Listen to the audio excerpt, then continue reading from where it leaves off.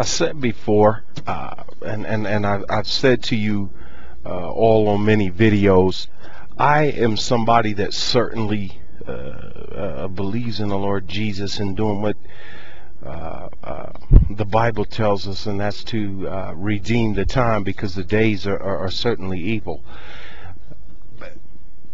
There is no, I, I think, time that we shouldn't uh, be ready to uh, proclaim the gospel. Uh, as the Apostle Paul uh, uh, wrote to the young pastor Timothy, be instant in season and out of season, uh, ready to tell the people. And that that that that time has come for me right now, and I just want to share with you, and I'm gonna keep on recording until the headset drops or the battery in this the laptop uh, goes out or, or, or, whatever it is that, that may happen. I'm going to get on the interstate here. But I said that to say this is that from time to time I, I love to go to uh, uh, uh Barnes and Nobles just to uh, uh, see what um, you know what false prophets have written, how they're uh, ripping people off in, in Afro times. We, uh, in aforementioned times, we have have certainly uh, uh, Uh, called out uh, uh T.D. Jakes and uh, Creflo Dollar, Joel Osteen, and all those clowns that, that, that just have just trampled underfoot Christ. And it is they're not I, I, do want to say not in defense of what they've done certainly but i mean they are not the only ones that are are just making uh, what the bible calls making merchandise of you. And and uh, my thing is, I don't believe, I do not under any circumstance believe it is a, a, a, a certainly a biblical thing to do to write a uh, write a book with the expectation of getting paid to do so. Uh, there was a, a, uh, a, book given away actually for free uh, on uh, Bible Gateway, and and certainly uh, they got that Bible Gateway is a great research site, but you got to be careful because their headliner, uh, their headliner, and uh, their headline. Uh, edition of the Bible is the the New International Version, which is is the haunt of foul spirits. But there was there's a guy that is a pastor in India, and they and they this somebody came to me and said uh, you know you really need to check this book out. And and i'm gonna tell y'all the truth. I don't uh, be reading i don't read books like that because i've always said uh, what are they going to tell me that the lord god himself should he choose to uh, not be able to reveal to me in the Holy Bible uh, through His Spirit. On this particular occasion, however, I was uh, I wanted to get a uh, somebody who's outside of America with the untainted view of, of this corporate uh, Protestant Christianity uh, that is in America. I wanted to get their view just to see what it is that they think about what's going on over here. And this particular book, Revolution and World Missions, I bring that up because this guy uh, uh, doesn't have the money of these uh, uh so-called American evangelists. This guy uh, uh, just doesn't have the resources, yet he gives his book away for free.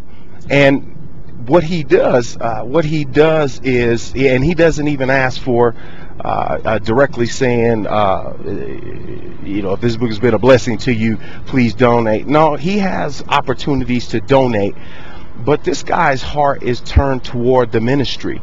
And I say that because uh, I said all that to say this is that writing a, a, a book, a, a so-called Christian book, and I do want to uh, uh, differentiate between being a Christian and being a believer. uh, the, you know, those those two things are certainly uh, different animals.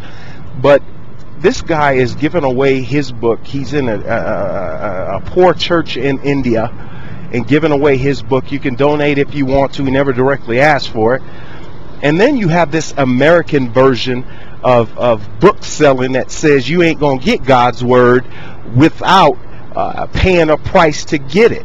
Jesus specifically uh, uh, said something that was very, very powerful when he sent his disciples out. He said, "Freely he, freely you've been given, so freely you give." Now, when we couple that, uh, when we uh, play that forward with uh, the Apostle Paul, we do know that that Paul did take up collections, or or they the, the church did collect. The early church collected money for the Apostle Paul. But the deal is, uh, we always have to ask ourselves, what condition Paul was in when he took up those offerings. I mean, Paul was a tent maker. When Paul went on his missionary journeys, uh, you know, Paul worked uh, when and where he could. But today, it's that expectation of just like with those books and these these these uh, worthless shepherds, man. They they are going in negotiating salary and and doing all of these things. That that that's saying I'm not going to preach unless you uh huh uh huh uh huh and I mean, this is just ridiculous. They're, they're making merchandise of God's people. Uh, we, we see in uh, we see in the Gospels Jesus chased the money changers out of the temple, and and said, "My Father's house is going to be a house of prayer, and you've made it into a den of thieves." Why? Because they were in there selling sacrifices for the for the uh, uh, uh for the temple, which is to say, if you can't buy some dove, some pigeon or whatever it is that they were sacrificing, you couldn't sacrifice to God. You couldn't know God unless you bought uh, and sold in the temple. And this is just ridiculous at that time, just like with this. It shuts people out of getting a word of the Most High God. And you know what is interesting is, uh, to if I can uh, further that, is that you go into these Barnes and Nobles, man. I, I walk. There's there's racks uh, of books called Christian fiction. Uh, listen to that. Listen to that term. Christian fiction. Those two words uh, should never ever be mentioned in the same sentence Christian and fiction. The Bible tells us that no truth is of a lie. Fiction is fictitious or it is a lie. It is something somebody made up and and these people are writing stories they're telling lies in the name of uh, uh, in the name of, of, of Yeshua HaMashiach, Jesus the Christ. Uh, some of these uh, some of these false pretender uh, uh, so-called Christian authors will even you say, well, Jesus Jesus told story. He said told parables and all this other stuff like that. You have got to understand G- uh, parables are comparative analysis. That's what a parable means comparative analysis. Just like uh, many of you don't know uh, what, what even the word Protestant is. Protestant was the Protestant Reformation, uh, which was undertook by the uh, ex-Catholic Martin Luther, who was also a religious hypocrite because he wrote so many vile things about the Jewish people, not understanding, a his uh, the Messiah who he claimed was Jewish, and that he was grafted into the natural branch of Israel, making him a spiritual Jew himself. But that hypocrite, yeah, yeah I digress. So uh, we have to understand that Jesus, that was a comparative analysis of real events, farmers and seeds and all of those things. Jesus, Jesus you know, these people naming stories and, and, and building this whole plot around uh, uh, some fictitious fake characters in order to communicate some truth. Christian fiction is a lie. And again, there's a difference between a parable and a fictitious story. One is meant to produce change, and the other, these books on these shelves are just meant to entertain people. It's a lie. Even a Left Behind series, you know, worldwide. Uh, Timothy LaHaye and his backslidden, reprobate-minded partner who wrote that foolishness. Uh, they, all they're doing is entertaining people. They built a whole collection, six, seven, eight books around the book of Revelations and they cherry pick scriptures. We talked before about how we how we have to take scripture and verify it with scripture and other texts. Left behind is a lie. It is a lie, and and to tell you uh, how uh, uh, uh fictitious this story is these Tim, uh, uh Dr. Tim LaHaye or whatever he calls himself, he's a good Christian man. He who has an ear, let him hear. What I mean by that.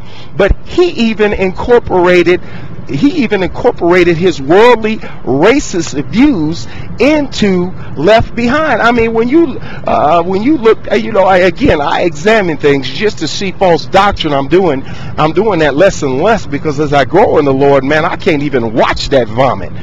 But we have to look at the mind of this reprobate who's Tim who's Tim LaHaye who made this Left Behind series making merchandise of stupid and ignorant sheep.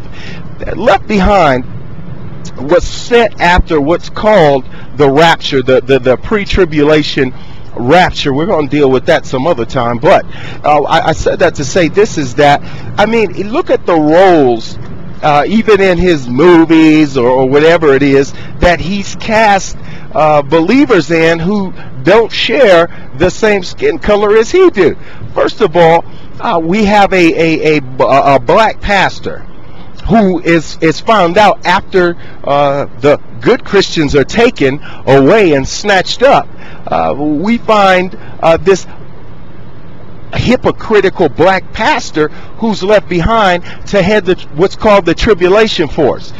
what's what, what's what, what's different than that? What's bigger than that is this: is that uh, the, it, further the the uh, uh, Antichrist and his minions uh, put some sort of virus on Bibles, for which the black pastor uh, uh, distributed and even killed more people. So not only is this pastor a hypocrite and he was left behind, secondly, he was stupid enough to pass out Bibles that had a virus on them. So now he's a mass murderer. So and and and left behind the world at war. Let's talk about that DVD. So you have a black president who was played by Louis Gossett Jr. Right? Uh, this guy uh, is sitting in the White House admitting he betrayed the United States of America. So we got a black pastor who's a hypocrite, who's a mass murderer and stupid. Secondly, we got a black president who's betrayed America. Third, this guy, the president, uh, uh, the the Secret Service agent that betrayed the president was what? Black. He shot the he shot the good the, the good Secret Service agent in the back. Not only that, the black president tries to kill uh, uh, the black president tries to shoot the Antichrist in this video, and and and shoots right through him, and he kills the the black the the, the black uh, Secret Service agent betrayer. So the president betrayed the country. He's stupid. Uh, secondly, he shoots another black dude because he's too stupid to understand, even though he's been told that the Antichrist can't be killed. And after that, the black president commits suicide by calling a missile in on Antichrist, who he's too stupid to know can't be killed. I mean, this is where these people are at. And and I'm not uh, here to to preach uh, uh, race or anything like that, because again, race has no place.